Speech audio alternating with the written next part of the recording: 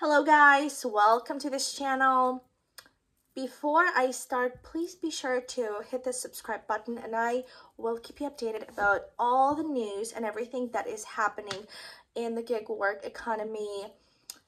Let's get to a topic of this video. $200 worth of groceries credit or as we will call it a gift card that Instacart is giving to their shoppers what is happening?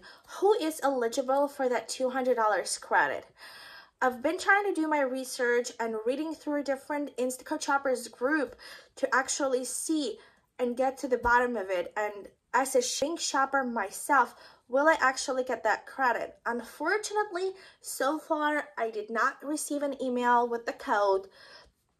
If you did receive any email from a shopper support, please do not delete it. Please scroll it all the way to the bottom because the code for that credit will be on the bottom of on that email. So do not delete it. Do not delete it from your junk folder. Be sure to check out your email for it.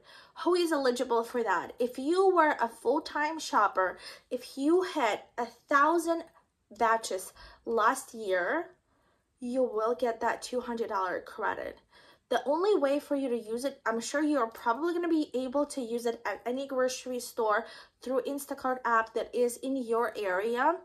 The way it works, you will apply that code into an Instacart app and you will be able to use that grocery. And as far as I had heard and read that it is going to be only one time purchase. So be sure to use all of the $200 at the same time I was unable to verify this information as of course I reached out to several shoppers support and that has nothing being going on. They were unable to answer my questions on how many batches I've complete last year because I don't have an exact number. I think I'm probably very close to a thousand but I, I might not have hit it. So I might I probably didn't hit it I don't know know for the fact that you had a thousand batches last year, you will be eligible for that $200 credit from Instacart to use it towards your groceries.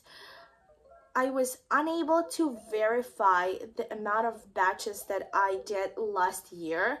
So the Instacart respond was they did give me some kind of email and I am going to read it to you right now. I was a part of um, as a part of our conversation with the shopper support.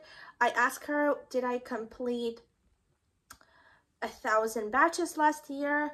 She said that she's unable to verify that information or give me any answers whatsoever, which is kind of a bummer, but this is where we usually get with Instacart. And she said, please email at verifications at instacart.com and they will get the details on the orders from there. So I don't know. She said that I am I will probably get an email. I did not get an email.